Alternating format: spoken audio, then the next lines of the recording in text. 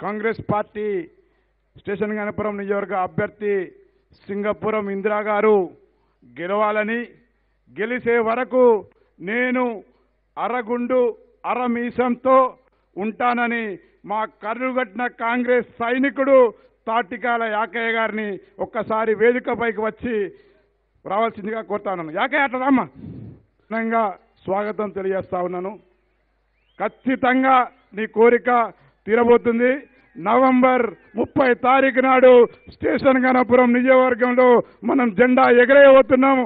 అదే రోజు నీ కోరిక తీరాలని చెప్పేసి మేము కోరుకుంటా ఉన్నాను ధన్యవాదాలు. యాకయ్య గారు దయచేసి అందరూ యాకయ్య గారిని అభినందించండి.